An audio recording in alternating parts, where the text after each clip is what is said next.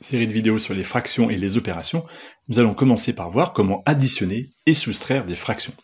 Il s'agit de l'explication du cours qui est en ligne sur mathguillon.fr, le QR code qui vous est proposé là, vous envoie directement sur la page considérée. On va commencer par dire une banalité, qui est que quand on ajoute des éléments de la même unité, par exemple 3 mètres plus 2 mètres, eh bien cela fait évidemment 5 mètres, il n'y a pas grande discussion. Eh bien on va partir de cette banalité pour essayer de travailler avec des fractions et comprendre que lorsque l'on fait, que lorsqu'on doit calculer 2 tiers plus 5 tiers, eh bien on ajoute exactement des éléments de la même unité. Et combien vaut, valent 2 tiers plus 5 tiers? Eh bien évidemment, cela vaut 7 tiers. Et donc, en appliquant à notre calcul ici, 2 tiers plus 5 tiers est égal à 7 tiers, et on comprend que le 7 est obtenu en ajoutant les deux numérateurs, cela fait 7 tiers. On découvre ainsi le mode opératoire pour additionner des fractions. Il faut avoir le même dénominateur et on ajoute les numérateurs. Voilà donc la méthode écrite clairement. On ajoute les numérateurs et on conserve le dénominateur lorsqu'on a deux fractions qui ont le même dénominateur. Évidemment, ça va poser problème lorsque nous devrons calculer des sommes comme celle-ci, 3 sixièmes plus 4 dix-huitièmes. On observe les deux dénominateurs sont différents, et là on ne peut pas ajouter, il s'agit là d'une somme de deux unités différentes, on a des sixièmes et des dix-huitièmes, on ne peut pas les ajouter comme si on ajoutait des mètres avec des centimètres. Il va falloir convertir, et là le plus simple sera de convertir la première fraction, 3 sixièmes, puisqu'on observe que 18 est un multiple de 6, et donc en multipliant par 3 la première fraction au numérateur et au dénominateur, on sait que ça ne change pas la valeur d'une fraction de multiplier numérateur et dénominateur. Cela me fera 3 fois 3, 9 sur 6 fois 3, 18, plus 4 18e. On a retrouvé là deux fractions de même dénominateur.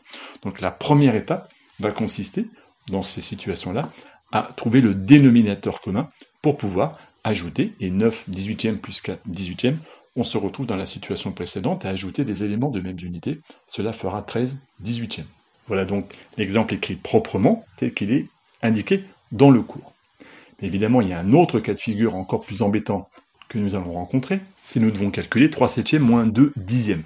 Là, on s'aperçoit que 10 n'est pas un multiple de 7 et on ne trouve pas, comme ça, un dénominateur commun facilement.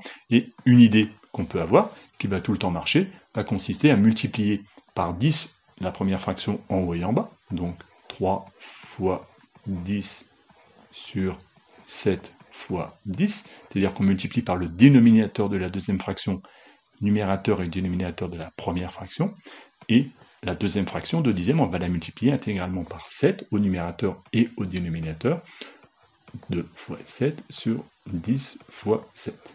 On voit qu'on a multiplié donc la première fraction par 10 au numérateur et au dénominateur, et la deuxième fraction par 7 au numérateur et au dénominateur. Si on opère maintenant tranquillement cette opération-là, on a trouvé deux fois le même dénominateur, on va pouvoir maintenant ajouter les deux fractions. L'exemple est traité complètement dans le cours, et on obtient au final 30 70e moins 14 70e, soit 16 70e. Attention, il n'est pas toujours nécessaire de multiplier les deux dénominateurs entre eux pour trouver un dénominateur commun. Par exemple, si on devait calculer 5 huitièmes plus 3 douzièmes, on pourrait chercher le dénominateur commun. On pourrait opérer 8 fois 12 comme dénominateur commun pour faire 96, mais on arriverait à une fraction bien trop compliquée. Quand on va chercher un multiple commun à 8 et à 12, eh bien on peut chercher un petit peu et on va se rendre compte que 24 va être un multiple commun, c'est-à-dire qu'en multipliant la première fraction simplement par 3 au numérateur et au dénominateur, et la deuxième fraction en la multipliant par 2 au numérateur et au dénominateur, on obtient 15 24e plus 6 24e, ce qui est bien plus simple que d'avoir tout, que d'avoir multiplié 8 et 12 entre eux pour trouver du 96e.